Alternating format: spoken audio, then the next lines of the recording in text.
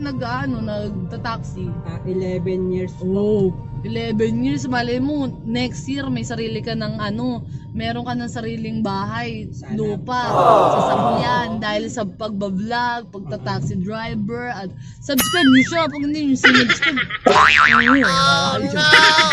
Okay, sa mga subscribers ko, subscribe niyo si Kuya Ronald. Kuya Ronald. Kuya Ronald. Molina, okay? Subscribe niyo siya, ah.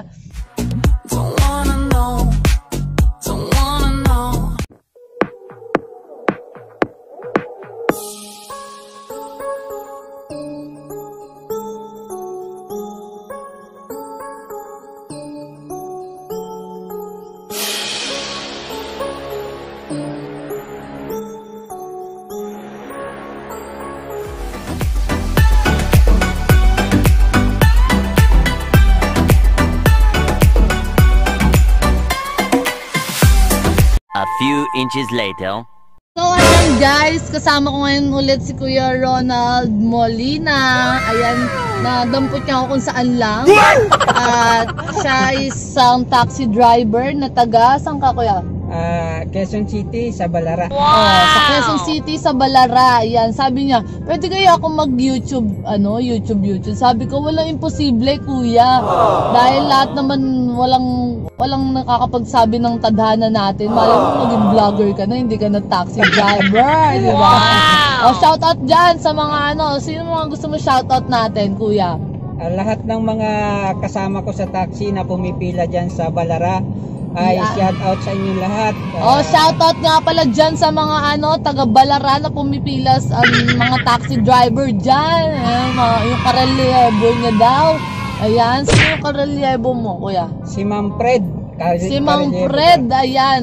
Karelyebo niya. Yan. So, ngayon, papunta kami sa Flontit, sa Mother Ignacia dahil magpapagawa akong kuko.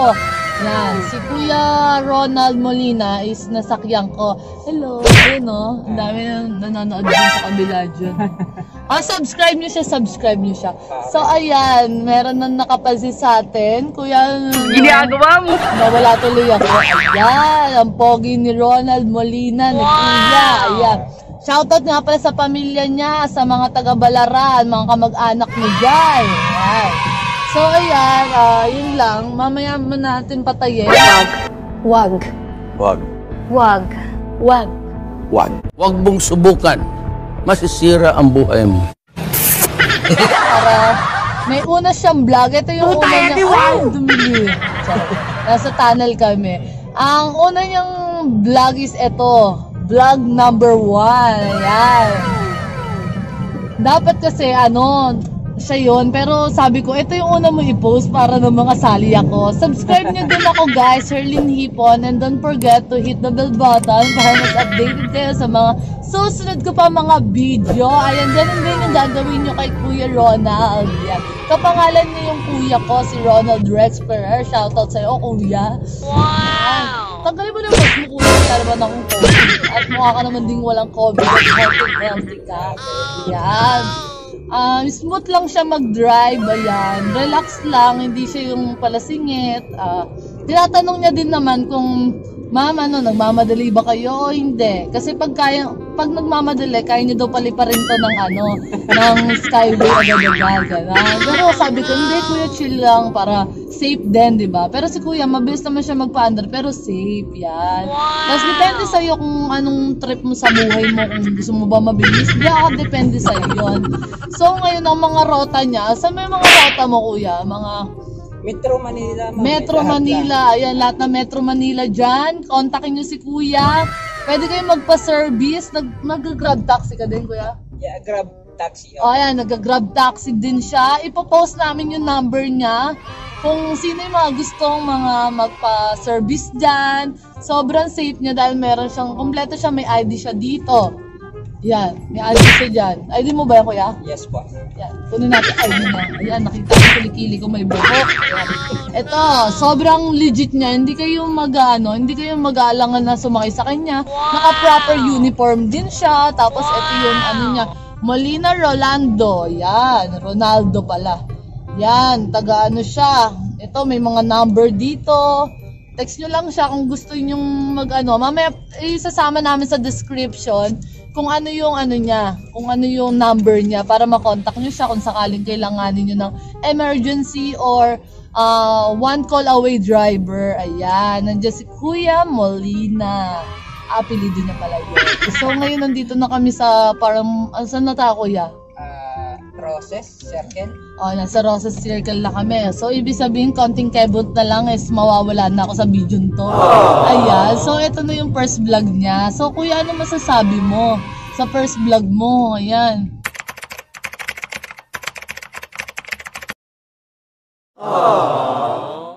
Ah, dahil sa iyo ma'am, maraming maraming salamat kasi ah, i- inano mo ako na mag-vlog. Ah, matagal ko na pong binabalak mag-vlog pero wala akong lakas ng loob. Eh ito, naisakay ko si Ma'am ah, Harleen.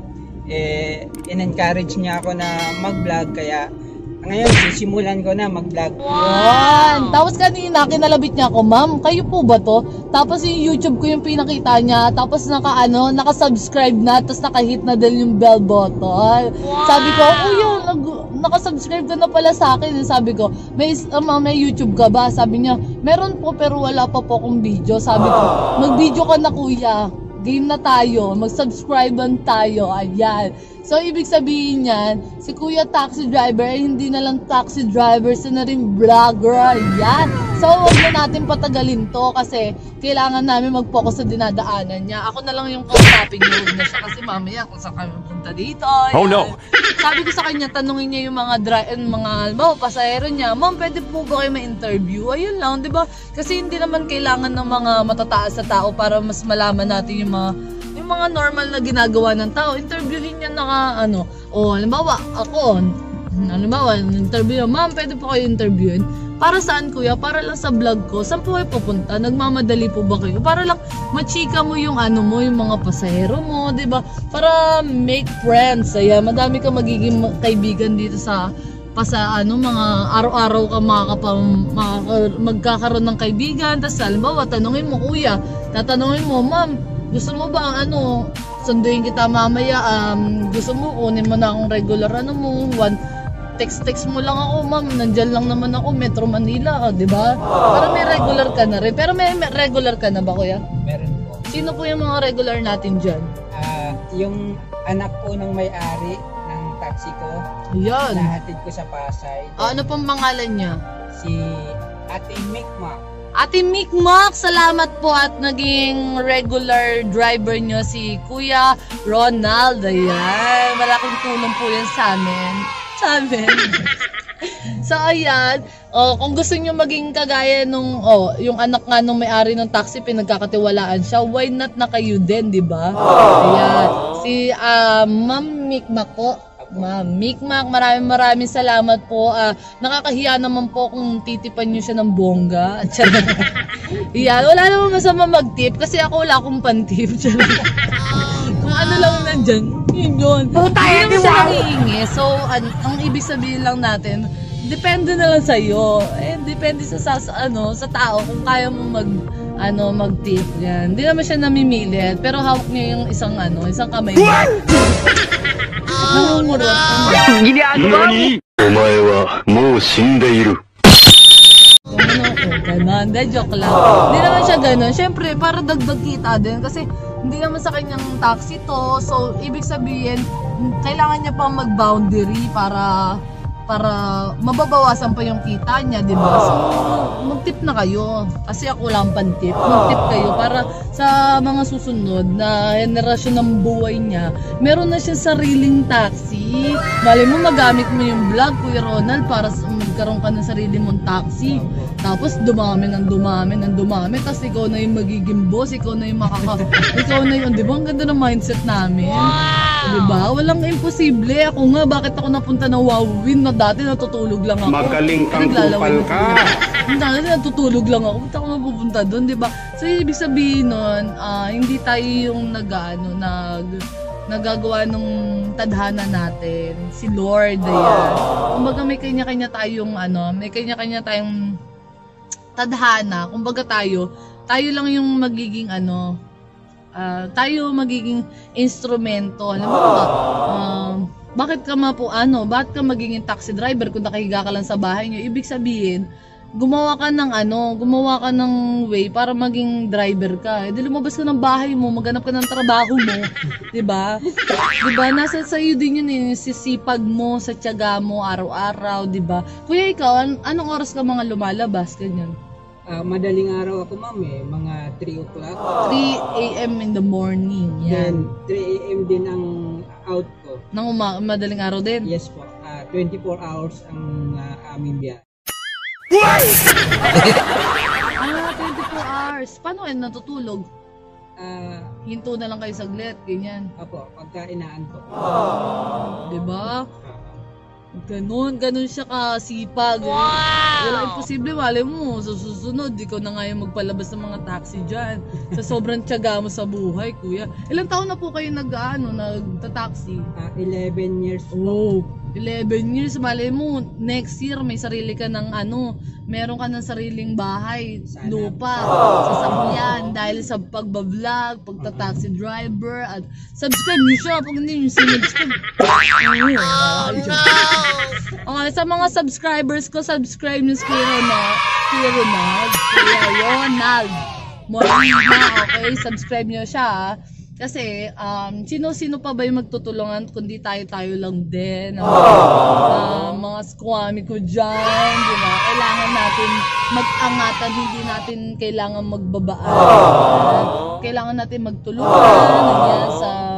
Kaya, ano, suportahan natin yung bawat isa, ganyan. Wow! an, ano, kahapon, meron akong buhay probinsya na ilalabas baka next week. Saka, basta madami, marami tayong mapagkakwentuhan. Tapos, comment down below kung sakaling masakyan ko ulit si kuya at kukunin ko yung number niya, di ba?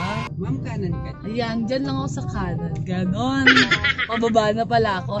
So, ingat, mga ka-partner ni Kuya Ronald Sana, Molina. Ito ba? Ito lang. Ayan. Okay mo? May kontra niyo yung ano, yung vlog ko. So, ayan, guys. Bababa na ako. Pupunta na ako dito sa mall. Saan ba? Saan ba?